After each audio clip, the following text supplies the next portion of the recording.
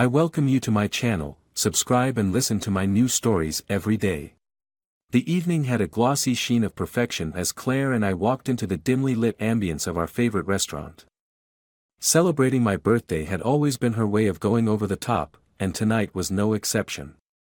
The soft hum of a violin playing in the background, paired with the murmur of intimate conversations, set a romantic scene.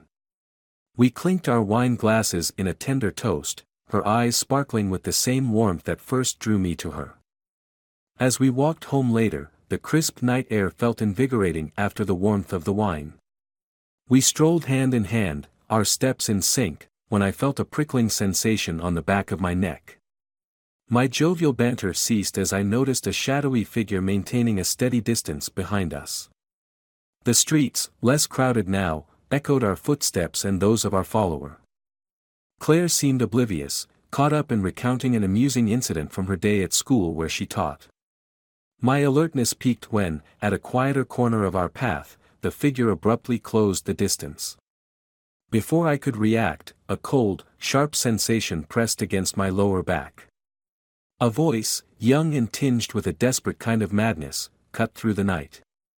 If he's gone, will you come back to me? The voice belonged to a boy, barely a man, with eyes that burned too brightly. Claire's face drained of color as she recognized him. Her student, she stammered, someone she had mentored. But the truth, raw and unyielding, unraveled in his words, revealing a scandalous affair that had ended bitterly. The shock was paralyzing. There I was, feeling the threatening press of a knife against my skin, yet the betrayal sliced deeper. Every shared secret, every whispered, I love you, from her felt tainted.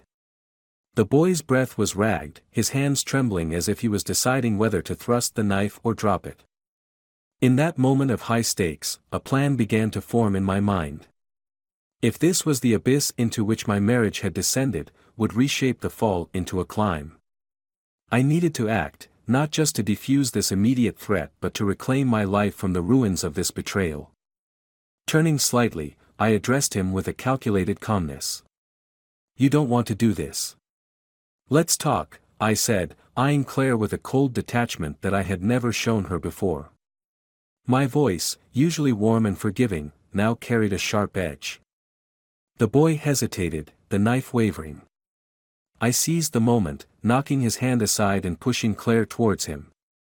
She's all yours, I declared, my voice hollow. The shock in her eyes was a balm to the fury burning inside me. I walked away from that scene, from Claire and the chaos her betrayal had wrought. The legal proceedings that followed were swift. I was relentless. Her career, her reputation, I dismantled them piece by piece, fueled by the images of that night. As for the boy, lost to his obsessions, he faded from my life as quickly as he had entered.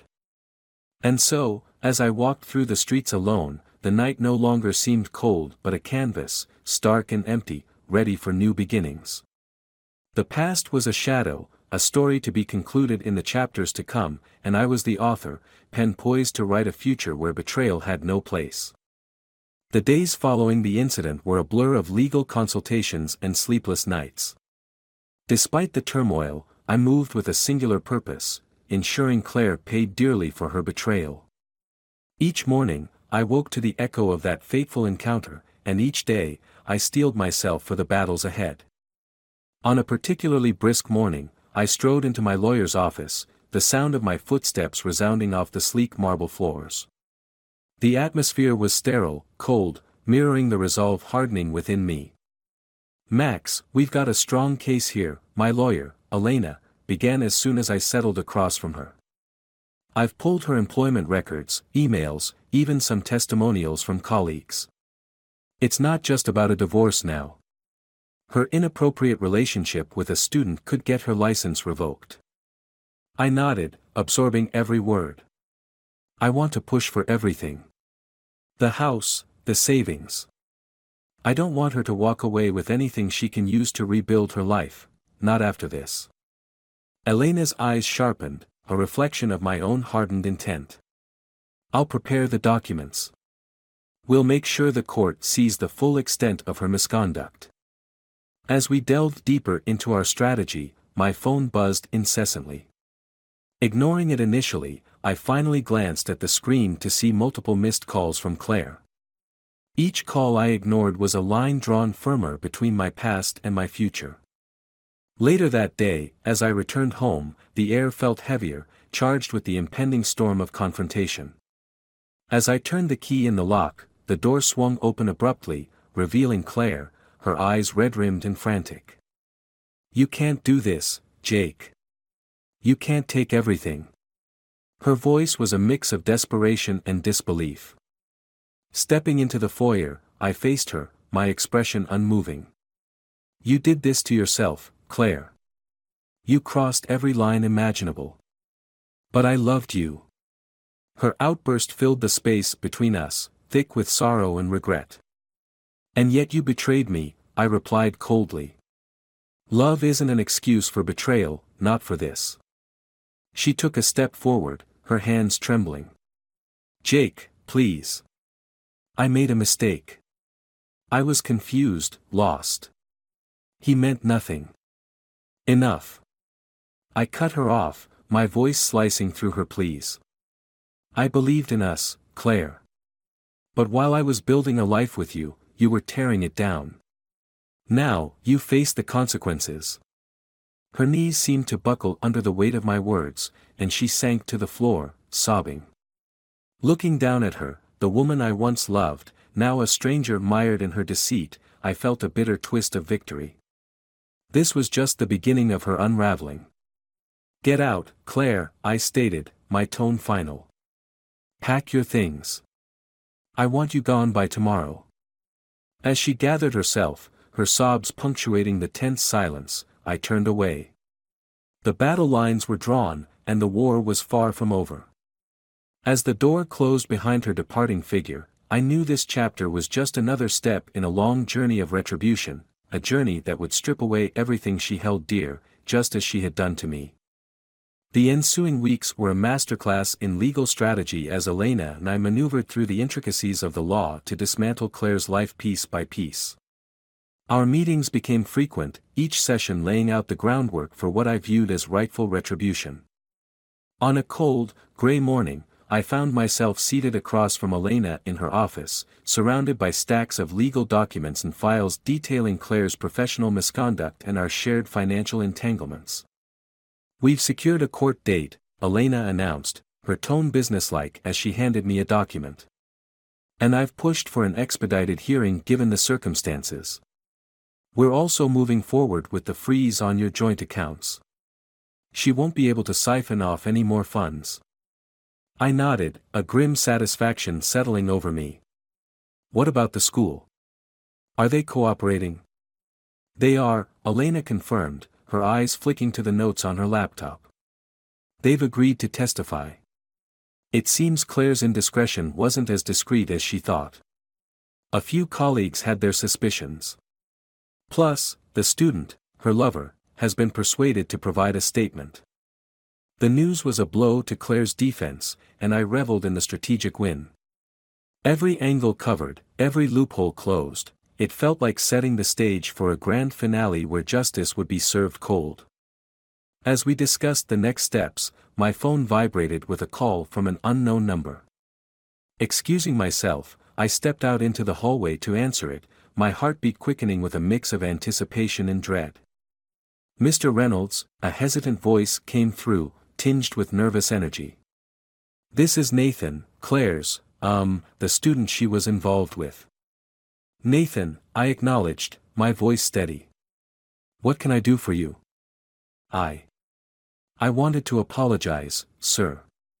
And I wanted to tell you I'm going to make things right. I'm going to testify about everything.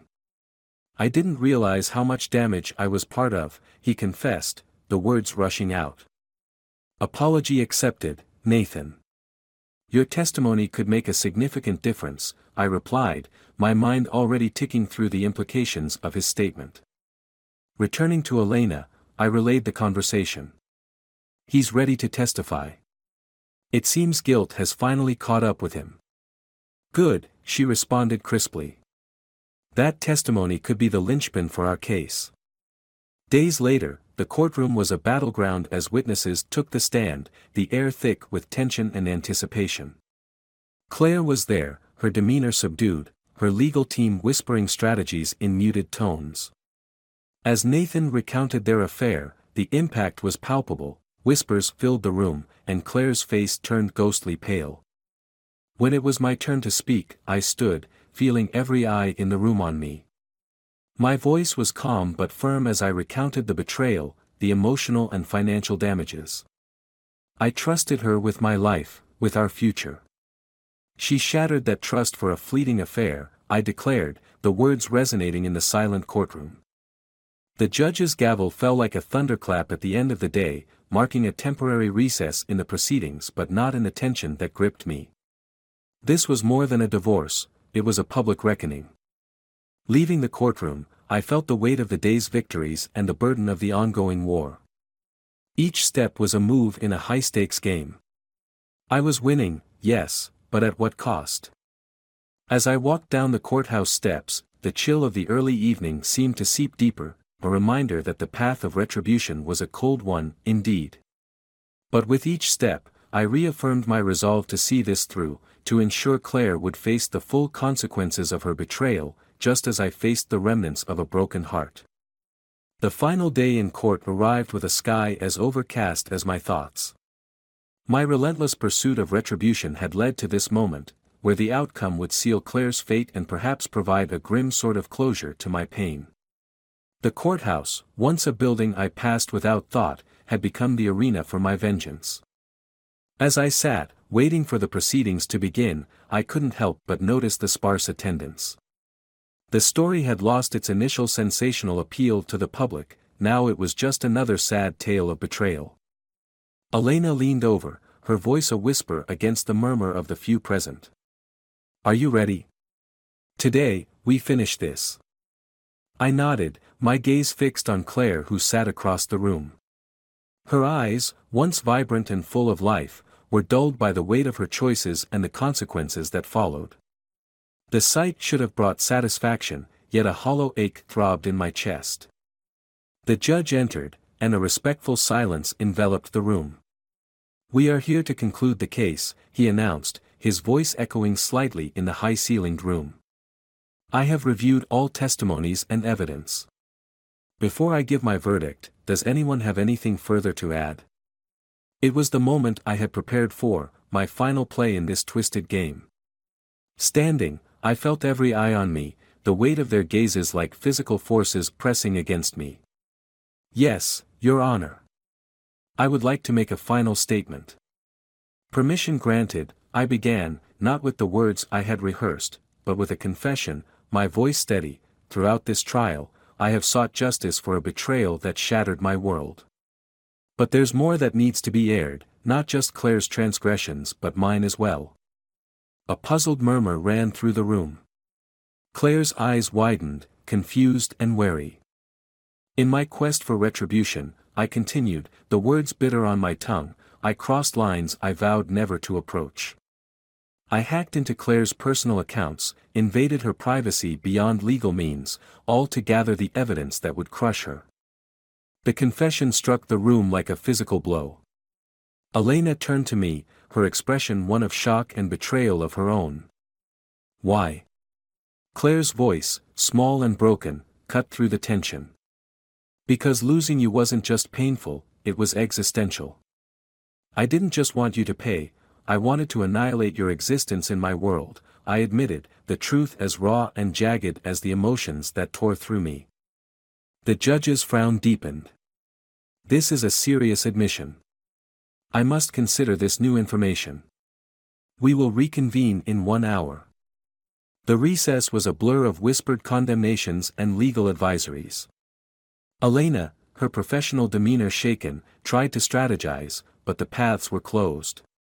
My admissions had tainted our case, possibly even rendering it void. When we returned, the judge's verdict was swift and severe. Given the serious nature of Mr. Reynolds' actions, charges against him will be considered separately. As for the current case, given the tainted evidence, I am dismissing the charges against Ms. Thompson. Claire was free to go, the repercussions of her betrayal washed away by my own. As the courtroom emptied, she approached me, her steps hesitant. Jake, why? Because in trying to destroy you, I destroyed us both, I said, the realization cold and unforgiving. I loved you too much, and then I hated you too much. There's nothing left now. Turning away, I left the courthouse alone. The victory I had envisioned was as hollow as the life I now faced. In my ruthless pursuit, I had become the architect of my own desolation. The deceit and betrayal had indeed parted us forever, but the cost was my soul, lost in the shadows of vengeance and regret.